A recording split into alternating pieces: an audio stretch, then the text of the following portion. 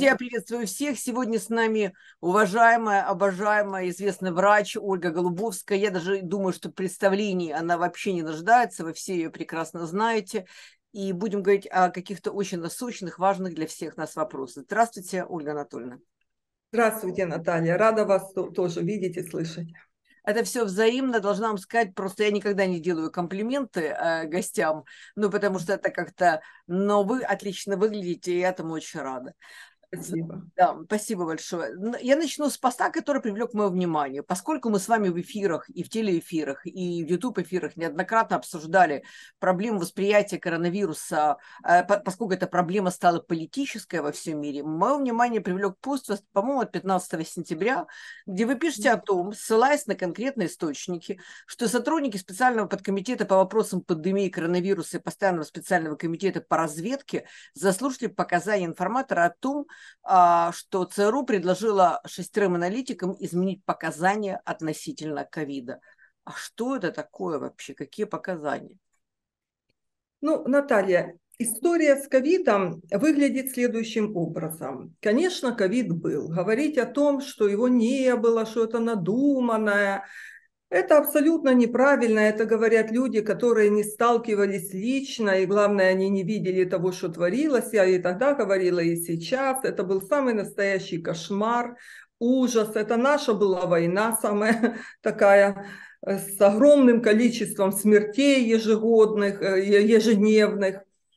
Э, конечно, очень тяжелая болезнь, во многом непонятная для нас, для всех. И я повторяю, ни одно поколение врачей не сталкивалось. Вот мы первые, которые столкнулись. Может быть, в испанский, когда был грипп, тогда была подобная ситуация. Поэтому это был кошмар и ужас. Но помимо этого кошмара и ужаса, который обусловлен самой болезнью, и это как бы, ну, понятно, что болезнь, значит, больных надо спасать, лечить, Следующий кошмар и ужас заключался в том, что творилось вокруг этого ковида. Вы помните? то какие-то повальные ограничительные мероприятия. Где-то они были обоснованными, вы знаете мою точку зрения. Вот у нас, например, так точно первая волна локдауна, она была полностью обоснована, потому что мы же встретили этот ковид без главного санитарного врача, без санитарно-эпидемиологической службы, которую развалили, да, все это пришлось возвращать, вернули же всех, и врачей этих всех, всех вернули. Но, но это ж надо было сделать, нормативные документы и так далее, подготовить. И, конечно, локдауны при этом заболевании, они не предотвращают его распространение полностью, не обрывают, это невозможно. Но они пиковые волны смягчают и позволяют выиграть время. Мы, конечно, не могли сделать, и ни один мир не мог сделать такой локдаун, как в Китае. Вы же помните этот ужас и кошмар, но тем не менее они сдержали распространение, и у них до появления варианта омикрон было там где-то 125 тысяч погибших, понимаете, это меньше, чем у нас, там в два раза с их э, количеством людей. А потом, когда омикрон случился, ну уже нет смысла, уже его сдержать нельзя, но они ослабили, э, вот, но летальность от омикрона снизилась на 90%, это же э, все-таки серьезная вещь. Вот эти вот локдауны были непонятные, потом э, совершенно непонятные рекомендации, касаемые э, иммунопрофилактики. Вы, вы помните, когда нагнеталось, нагнеталось, уже дошло до того, что невакцинированных людей не пускали в магазины. Но это, честно, я вам хочу сказать, для меня это до сих пор э, какой-то тихий ужас. Я по-другому этого, это назвать не могу. И поэтому многие вопросы, связанные с ковидом, мы с вами никогда не узнаем. Они политически заангажированы. И дело не только в деньгах, хотя деньги – это тоже один из основных моментов. Это в том числе и как э, э, там возможно управлять людьми и так далее. Поэтому, но тем не менее, э, никто, конечно, в мире не молчит. Мир вообще не молчит. Просто информация дается дозированная, информация попадает э, очень скудно, но попадает. Даже в Европарламенте было слушаний несколько, вы, вы это все помните.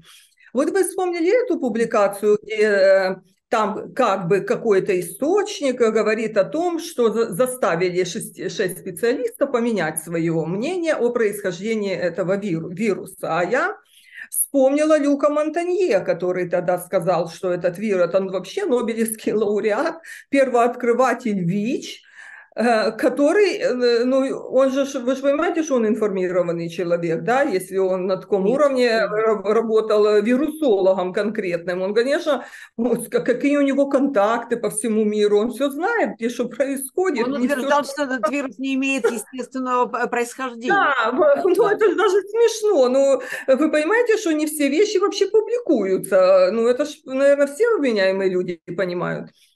И он, между прочим, он очень спокойно сказал, но исследования же проводятся с вирусами и, всегда, и, конечно, и сейчас все время они проводятся. Вакцины э, проверяют, эм, проверяют действие лекарственных средств. Вот он сказал, что э, делали вакцину от ВИЧ-инфекции, пытались сделать, и э, работали с коронавирусами этими, но, говорит, к сожалению, э, утечка произошла случайно, он так сказал. Ну, чем закончилось? Криками и пытались забрать и Нобелевскую премию уже у этого Люка Монтанье. То есть э, я с удивлением обнаруживаю, что мы сейчас живем, оказывается, в таком мире, где должна быть одна точка зрения, только одна. Если, не дай бог, кто-то имеет по любому поводу какую-то другую точку зрения.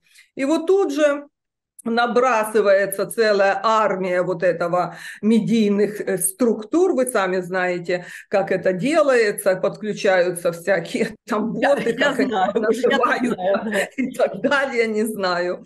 Вот. Но э, от, э, правда и истина от этого не меняется, она такая, как она есть.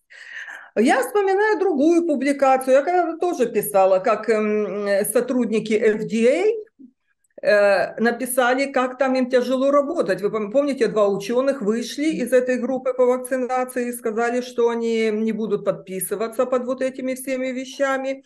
И потом написали в журнале Lancet, большую статью. То есть ученые, имеет же любой ученый, имеет право на свою точку зрения. Это же ученый, он же не обладает э, властно-распорядительным ресурсом никаким. Он имеет только свои знания, свою точку зрения, и у, э, у него должно быть право его вы, высказать, эту точку зрения. Конечно. Но Э, но, к сожалению, мир очень жестокий, видите, миром правят деньги, мы это тоже понимаем. А я, вот я и с врачами, когда работаю, лекции читаю, я говорю, понимаете, мы с вами находимся между жизнью и смертью. И все. Вот и все. Какая политика здесь может быть? Я не понимаю тех докторов, которые участвуют в этой политике. А вы помните, были заявления некоторых, в том числе наших специалистов, что невакцинированным не оказывать медицинскую помощь. Да. Ну это ж вот ну как это? Ну как ну, это? А, а, я, я, Ольга я же а, а любые вопросы по вакцинации же на журналистов сразу вешали ярлыки, что это российские нарративы. Понимаете? Ну да, так и на ананас, то же самое. Так вот были слушания в, этом, в Евросоюзе, было слушание, и когда э, задали конкретный вопрос представителю фармкомпании, на каком исследовании основывались ваши рекомендации, что вакцинированные не являются источником инфекции, он ответил ни на каких. Не, не, вот они просто так посчитали, понимаете? Ну, вот. к сожалению, я, я почему, Наталья, еще я просто закончу с этим вопросом, уже, я думаю, всем все понятно. И так, э, ну, политика, политики, понятно, что они всегда были, если будут, и будут давить и так далее, потому что все повторится, увидите, что все рано или поздно повторится, об этом было официальное заявление Всемирной организации здравоохранения в 2021 году на Всемирной ассамблее, а, так же, как в 2018 году предупреждали, что будет пандемия новая, вызванная еще неизвестным вирусом, так и сейчас они тоже об этом сказали. Поэтому вот когда оно все повторится, мы должны извлечь уроки и понимать, что когда человек болеет, его уже надо лечить.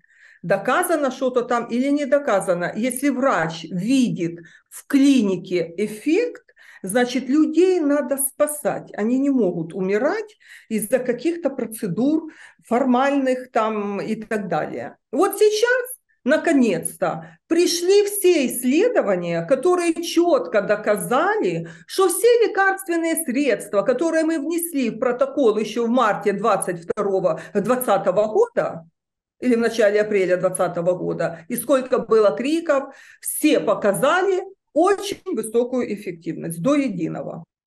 Ну, а если бы этого не было, сколько а было сколько бы... вам пришлось бороться и доказывать? Я это отлично помню. Да, ну вы же помните, еще политики, вот здесь всем все запрещают. Запрещают говорить э, э, там э, специалистам все. А можно вообще запретить политикам обсуждать профессиональные вещи? У них есть политика, пусть обсуждают. У тебя ж никогда, вы заметили, что я никогда не высказываю свою точку зрения по каким-то политическим вопросам. Ну, она же у меня есть? Есть. Но это моя точка зрения. Я не могу, э, понимаете, я многого не знаю, я многих раскладов не понимаю. Ну, ну, извините меня, но каждый считает своим долгом прокомментировать что-то сугубо э, специфическое такое. Вот надо им запретить не лезть, потому что это жизни людей, которые никто не вернет. Вот на ровном месте, понимаете, врачу обидно, когда человек погибает от предотвратимого состояния. Вот это самое страшное. Да. Все так и есть, да. И пока идут политические а, вот эти все дрязги и интриги, люди действительно умирают. Я хотела с вами еще поговорить относительно того, какие сейчас инфекции, да, о чем мы знаем, о чем мы не знаем. Я, например, вздрогнула, прочитав ваш пост о болезни легионеров. Я читала об этом только в художественной литературе. 25% смертности, а, что а, там несколько случаев уже нашли а, очень близко от нас, и я прям, честно говоря, напряглась. Думаю, а это что такое, чем это грозит? Вы знаете, Наталья, я пишу действительно в Facebook, и там не для того, чтобы там напугать кого-то и все, а просто для того, чтобы все знали, врачи прежде всего, для врачей, что есть такая болезнь, потому что инфекционные болезни, они касаются каждого, и любой врач может столкнуться с этой болезнью. Но не все должны помнить, что есть такая болезнь легионеров, также если человек там с другой специальностью. Почему такая летальность? Ну, само заболевание тяжелое, а потому что там терапия препаратами не теми, которыми лечатся банальные пневмонии. И поэтому человеку ставят пневмонию, назначают неэффективное лекарственное средство обычное, а оказывается, это пневмония, вызванная специфическим возбудителем, и поэтому летальность из-за поздней диагностики. У нас в инфектологии летальность обусловлена в 90% поздней диагностикой. Вот диагностика у нас самая сложная, но естественно, самая важная. Но бояться не надо, эпидемии не будет. Просто это вспышка, которая она обычно связана с системами кондиционирования, и не вот этими нашими кондиционерами, а такими системами системами большими, там, которые в домах находятся. Поэтому не надо этого ничего бояться, просто надо понимать, что если пневмония и возникает у нескольких людей на определенном эм, пространстве, то это специфическая пневмония. Как Китай заявил, что 40 человек на, с рынка Уханя заболел, и 8 погибло. Помните первое сообщение? Вот да, это да. не просто надо объявлять, а еще и рапортировать там во Всемирную организацию здравоохранения, потому что это может в любой момент э, поражение легких, э, эм, э, вот такое эпидемическое, которое имеет распространение, оно может иметь международное значение и регулируется международными медико-санитарными правилами. Называется тяжелый острый респираторный синдром. Вот, поэтому этого бояться не надо. А чего надо? Опасаться, может быть, хотя бояться уже тоже не надо. Но сейчас у нас очень большой рост коронавирусной инфекции, очень большой. Такой же рост и уже несколько месяцев наблюдается Какие-то в США. новые штаммы, э, Ольга? Да, это все новые штаммы, сейчас я расскажу. В Европе огромнейший рост. И, конечно же, за счет количества больных и растет и госпитализация, конечно, будут смерти и все, и все на свете. Какая сейчас э, проблема с этим коронавирусом? Да, действительно, это новые варианты. Но все эти новые варианты, они не обуславливают тяжелое течение заболевания. Нет, они просто э, вот, вызывают вот такое чрезмерное распространение этого заболевания. Поэтому это первое. Второе, они часто ускользают от диагностических тестов. Бывает, то есть вот делаешь тестирование, мы врачи учим, а тест э, отрицательный. Ну, мы врачи учим, это не значит, что ковид и так далее, есть определение случая, они это знают. Понимаете, э, вот мне, например, звонили с Вашингтона и говорят, что там готовится даже локдаун вот сейчас. Почему? Я не знаю, но говорят очень много там и больных, и госпитализации, и всего. Мы уже, уже отработанными, уже есть масса противовирусных препаратов, хороших, и все, кстати, они американские по происхождению, их компании синтезировали прекрасные противовирусные средства. Опять-таки дело в диагнозе.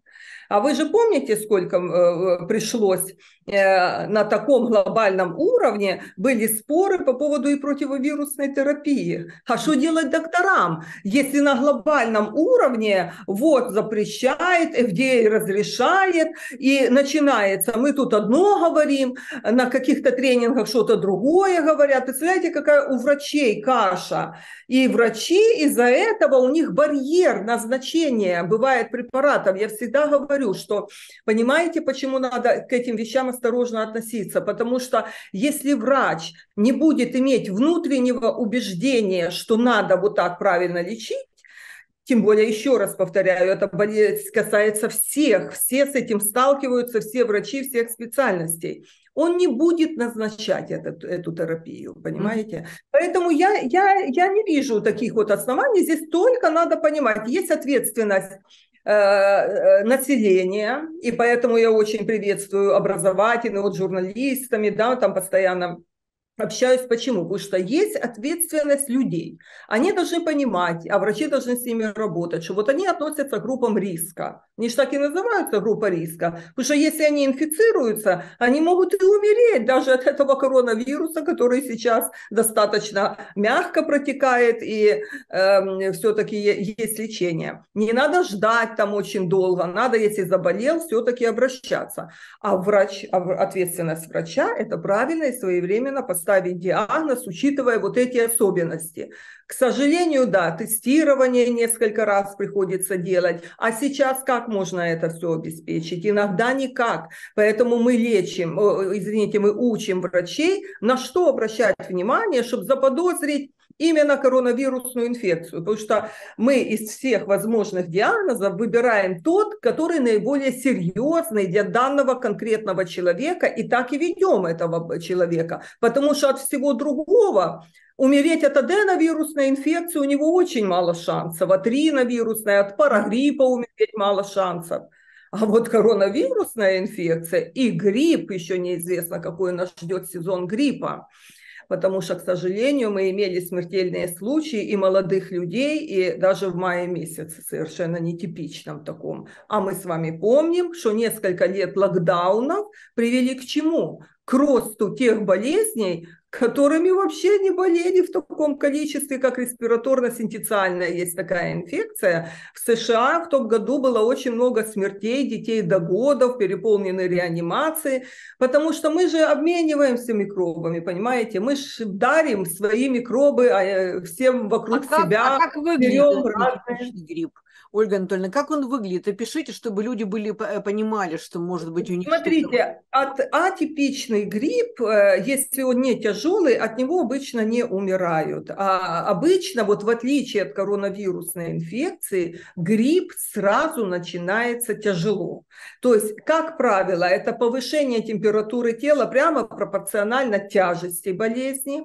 И вот этот э, очень характерный синдром, боль и соднение за грудиной, трахея, там, где трахея находится. Трахеит – это ну, такой характерный э, симптом гриппа. Поэтому если у человека 40 температура, я упрощенно говорю, и есть этот симптом, исключить грипп абсолютно нельзя, тем более мы уже скоро входим в сезон. А при гриппе мы имеем тоже прекрасные противовирусные препараты, которые максимум эффективны в первые два дня болезни. А вы представляете, что такое 48 часов болезни?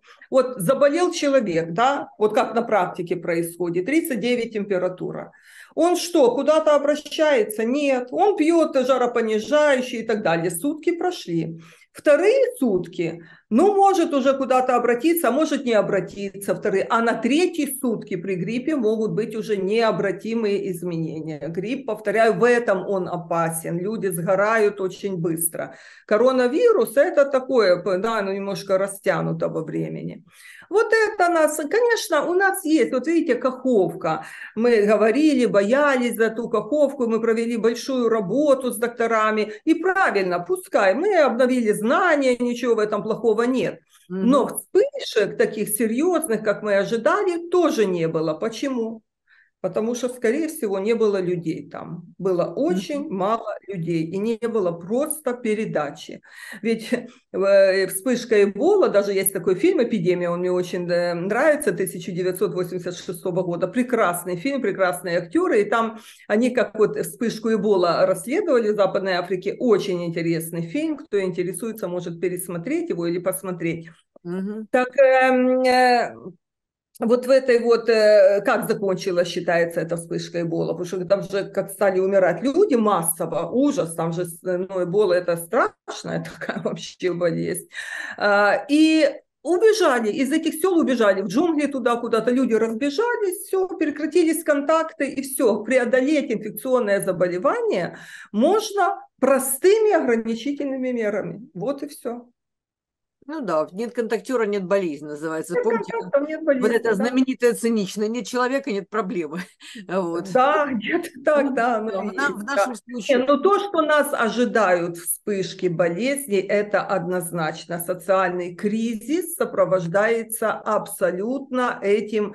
А, это только дело времени, когда что будет. Поэтому я Какие? очень боюсь. Какие что... вспышки могут быть? Ольга? И дифтерия, может, будет. Мы обсуждали, у нас сейчас какие какие-то ангины пошли, такие раньше таких мы только в 90-е видели такие ангины нетипичные, их много у молодых людей, непонятно что. Возможно, вот тогда это было предвестником таким. Не хочу никого пугать, еще раз говорю, что просто надо готовиться, надо запасаться препаратами для иммуно, вот этой иммунотерапии, сыворотками всевозможными. Вот. Э, ну и все остальные, конечно, тоже. И есть вспышки, то, что мы с вами обсуждали, и лептоспирозов, и хантавирусных инфекций. Ну, конечно, когда миграция грызунов, вы же представляете, в каком количестве, особенно там, где ближе к линии соприкосновения, и есть эти вспышки. Они имеют в основном такое более-менее локальное значение. Вот, вот так вот. А вот, а, вот, а вот старые добрые гепатиты, ВИЧи и прочее, прочее, да. что сейчас? Ну, конечно, мы, наша ассоциация вот инфекционистов, э, да, мы подготовили еще в самом начале войны, работали вместе с Всемирной организацией здравоохранения, мы подготовили аналитическую такую справку для РНБО в том числе. Мы там все это писали. Ну, а как же, переливание крови в таком огромном количестве? Конечно, там какие там же невозможно, уж понятно бывает провести даже какое-то тестирование, э, тем более, что там есть... Ну да, фронтовые госпитали разные, да. Конечно, поэтому, конечно, мы ожидаем. Гемоконтактные инфекции, они будут, они вырастут абсолютно однозначно, они, вы, они, они вырастут, да. Ну, и другие инфекционные болезни, да, и кори уже, да, уже сколько она недавно, 19 год закончилась, обычно 5-6 лет, все, все это может быть. А, а готова ли украинская медицина, с вашей точки зрения, да, имеется в виду койки, а, нужны нам препараты, а, нужны, там, я не знаю, а, сыворотки, нужны, ну, и, и что вы рекомендуете сделать сейчас осенью обязательно, да? Э, Наталья, вы знаете... Какие прививки, а, да, какие можно не делать? Ага, да, о готовности, э, как оказалось, вот пандемия, как оказалось, что наша, наши страны оказались более-менее готовы за счет коек, которых сейчас не будет. Сейчас идет реформа вторичного уровня, вот эта спроможня МРЖа, которая все, все на свете позакрывается абсолютно, у людей доступа не будет. Сделать с этим ничего нельзя, уже это понятно. Поэтому, э, конечно, на массовые инфекционные болезни – наши, рассчитаны были наши системы. У нас за, за счет просто коек, элементарно коек. Вот самая пострадавшая от пандемии страна, самая пострадавшая это США. Это с их ВВП, которая с их процентов их ВВП которая выделяется на медицину. И пострадавшая среди развитых стран. Среди развитых стран, представляете? То есть там где-то 2000 если я не ошибаюсь, на 100 тысяч, 200 э, погибших было там на 100 тысяч людей. В общем, я могу путаться в цифрах, в цифрах неважно. И это публикации зарубежные, анализ о том, что они сам... Почему? Потому что у них количество коек очень маленькое было. У них люди лежали в часовнях, колокольнях.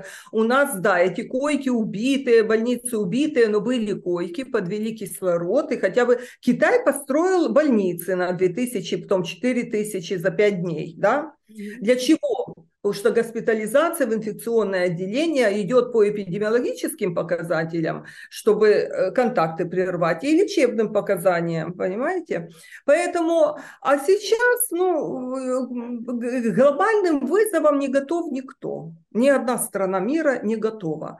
Ну, а э, я поэтому и обращаюсь к людям. Вот, знаете, мы сейчас живем, вот надо э, все-таки стараться как-то следить за своим здоровьем, как это не банально. Мы уже, когда вот с этим коронавирусной инфекцией, мы внедрили, да, э, вот это прием витаминов всевозможных, того же витамина D, я это очень приветствую. Мы все в дефиците находимся, это же уже доказано, вся Европа пьет, это гормон иммунной системы, поэтому если есть его дефицит, его надо принимать, или если есть сопутствующие заболевания щитовидной железы, он тогда падает всегда. Эндокринологи и назначают.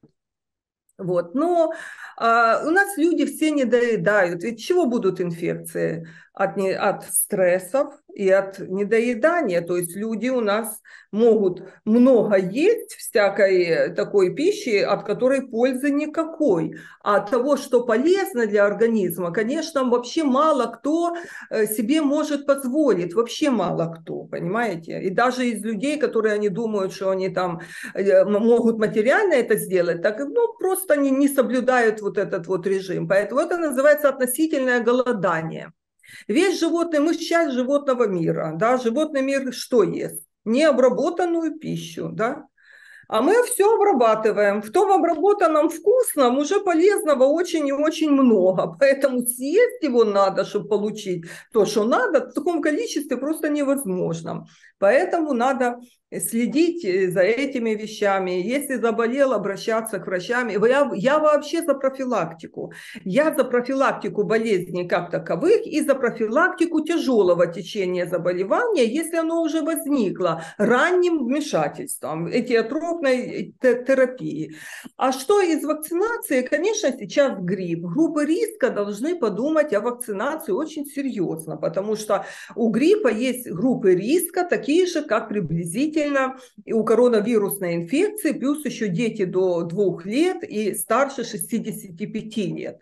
Ну, видите, где мы сейчас находимся. Какой я, например, ну, как я, у меня всегда, я понимаю, что вирусы это даже не бактерии. Вирусы это все очень быстро, очень плохо, э, и с ними надо, э, также на них реагируют. Я дома все держу, противовирусные препараты, любые, какие есть, и тесты и все. Люди не могут. Значит, что надо сделать? Вакцинироваться хотя бы для того, чтобы минимизировать риски заболеть. Тем более э, мы в состоянии войны. Можно вообще, может не быть аптеки элементарно, может человек вынужден куда-то уезжать. Никто же не знает, что нас еще ждет впереди. Понятия же этого мы с вами абсолютно никакого не имеем. Все закрывается, люди уезжают. Поэтому вот это вот, э, ну, естественно, а все, все остальное у нас сейчас укусы животных, люди идут вакцинироваться от бешенства, конечно же, потому что э, я думаю, что такой правильной работы не проводит, э, ну, э, Держпрот, это споживслужба, Э, с животными дикими, дикими. Я думаю, не во всех регионах она проводится так, как она должна проводиться. Поэтому может и рост быть даже и бешенство, к сожалению. Поэтому вот я знаю, у меня каждый день обращение, где там сделать эту вакцину. Но в Киеве еще есть доступы, надо делать. Вот в Виннице недавно был смертельный случай от этого заболевания, причем, насколько я знаю, домашняя кошка людей покусала, и, и животных надо вакцинировать. Ну, в общем, Есть надо выживать. Выживать надо, как можем. Ольга Анатольевна, смотрите, на врачей в Киеве усиливается очень сильная нагрузка, потому что, как мы знаем, из-за войны идет огромная миграция из а, там, районов, в которых происходят боевые действия, из районов, которые временно оккупированы и так далее. Все стремятся не только там уехать, скажем, ну, куда-то, да, за пределы Украины, а многие стремятся в центр, где, ну, безопасней. Ну, да. да. И а, на врачей огромная нагрузка. Вот вы просто хотела вам личный вопрос задать, потому что для многих сегодня это большая проблема. Вы как справляетесь а, со стрессом? Ну, правда, ну, потому что а, там... Наталья, я уже говорила, я не знаю, поймут меня люди, не поймут, но я скажу так, как оно есть. Для меня до сих пор ситуация с коронавирусом была более стрессовой ситуацией, чем сейчас. Лично для меня так получилось.